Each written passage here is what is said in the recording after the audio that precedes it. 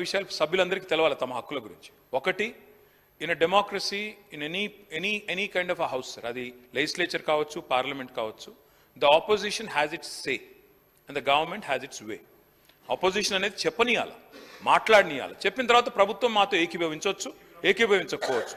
Number one sir రెండో sir వారు అన్నారు ప్రజాపాలన డెమో డెమోక్రటిక్గా చేస్తాం. Sir the essence of democracy is discussion debate and dissent మూడు ఉంటాయి సార్ డిస్కస్ చేయాలి డిబేట్ చేయాలి. ఒకవేళ నచ్చకపోతే ఆ- సంతృప్తికరంగా లేకపోతే డిసెంట్ చేయాలి తప్పదు.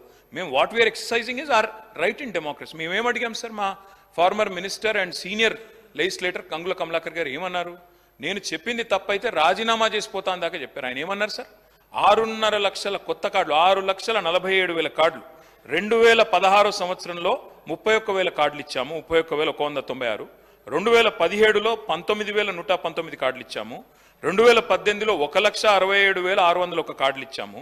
రెండు వేల పంతొమ్మిదిలో తొంభై తొమ్మిది వేల ఐదు వందల డెబ్బై కార్డులు వచ్చినాయి.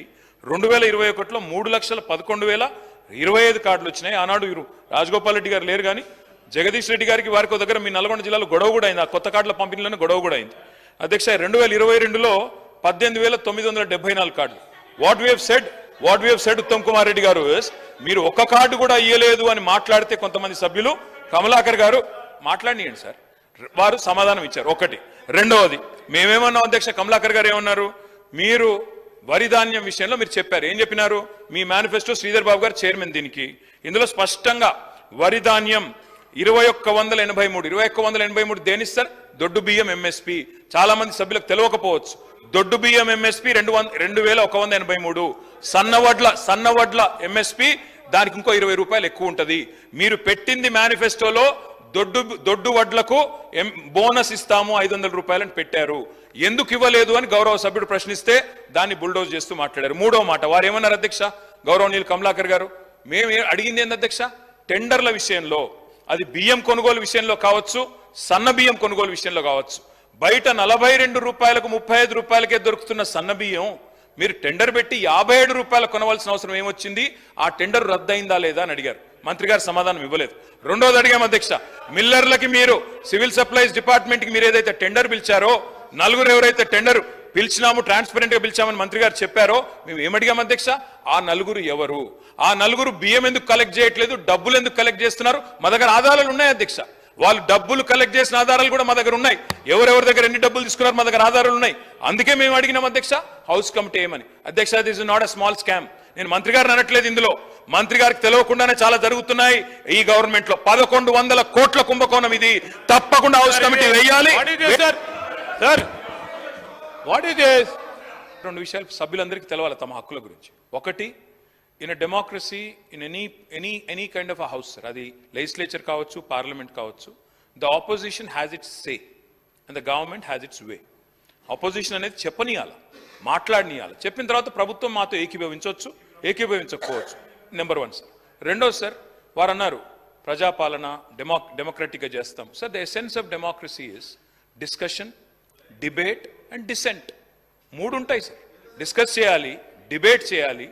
ఒకవేళ నచ్చకపోతే ఆ- సంతృప్తికరంగా లేకపోతే డిసెంట్ చేయాలి తప్పదు.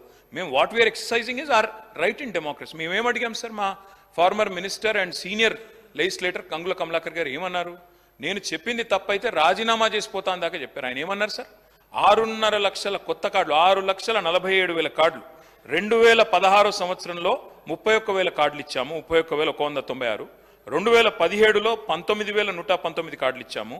రెండు వేల పద్దెనిమిదిలో ఒక లక్ష అరవై ఏడు వేల ఆరు వందల ఒక కార్డులు ఇచ్చాము.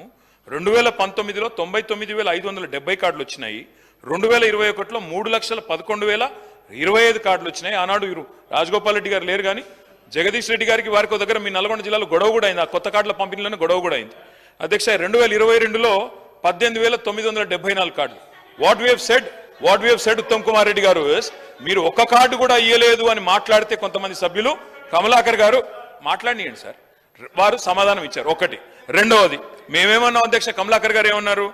మీరు వరి ధాన్యం విషయంలో మీరు చెప్పారు. ఏం చెప్పినారు? మీ మేనిఫెస్టో శ్రీధర్ బాబు గారు చైర్మన్ దీనికి. ఇందులో స్పష్టంగా వరి ధాన్యం ఇరవై ఒక్క వందల ఎనభై మూడు ఇరవై ఒక్క వందల ఎనభై మూడు దేనిస్తారు? దొడ్డు బియ్యం ఎంఎస్పి చాలా మంది సభ్యులకు తెలియకపోవచ్చు. దొడ్డు బియ్యం ఎంఎస్పి రెండు వంద రెండు వేల ఒక వంద ఎనభై మూడు. సన్నవడ్ల సన్నవడ్ల ఎంఎస్పి దానికి ఇంకో ఇరవై రూపాయలు ఎక్కువ ఉంటుంది. మీరు పెట్టింది మేనిఫెస్టోలో దొడ్డు దొడ్డు వడ్లకు ఎం- బోనస్ ఇస్తాము ఐదు వందల రూపాయలని పెట్టారు.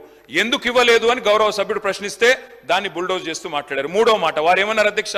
గౌరవనీయులు కమలాకర్ గారు మేము అడిగింది ఏంది అధ్యక్ష? టెండర్ల విషయంలో అది బియ్యం కొనుగోలు విషయంలో కావచ్చు సన్న బియ్యం కొనుగోలు విషయంలో కావచ్చు. బయట నలభై రెండు రూపాయలకు ముప్పై ఐదు రూపాయలకే దొరుకుతున్న సన్న బియ్యం మీరు టెండర్ పెట్టి యాభై ఏడు రూపాయలు కొనవలసిన అవసరం ఏమొచ్చింది? ఆ టెండర్ రద్దయిందా లేదా అని అడిగారు. మంత్రి గారు సమాధానం ఇవ్వలేదు. రెండోది అడిగాం అధ్యక్ష మిల్లర్లకి మీరు సివిల్ సప్లైస్ డిపార్ట్మెంట్కి మీరు ఏదైతే టెండర్ పిలిచారో నలుగురు ఎవరైతే టెండర్ పిలిచినాము ట్రాన్స్పరెంట్గా పిలిచామని మంత్రి గారు చెప్పారో మేము ఏమడిగాం అధ్యక్ష? ఆ నలుగురు ఎవరు? ఆ నలుగురు బియ్యం ఎందుకు కలెక్ట్ చేయట్లేదు డబ్బులు ఎందుకు కలెక్ట్ చేస్తున్నారు? మా దగ్గర ఆధారాలు ఉన్నాయి అధ్యక్ష. వాళ్ళు డబ్బులు కలెక్ట్ చేసిన ఆధారాలు కూడా మా దగ్గర ఉన్నాయి. ఎవరెవరి దగ్గర ఎన్ని డబ్బులు తీసుకున్నారు మా దగ్గర ఆధారాలు ఉన్నాయి. అందుకే మేము అడిగినాం అధ్యక్ష హౌస్ కమిటీ ఏమని. అధ్యక్ష this not a small scam నేను మంత్రి గారిని అనట్లేదు ఇందులో. మంత్రి గారికి తెలియకుండానే చాలా జరుగుతున్నాయి ఈ గవర్నమెంట్లో. పదకొండు వందల కోట్ల కుంభకోణం ఇది. తప్పకుండా హౌస్ కమిటీ వేయాలి.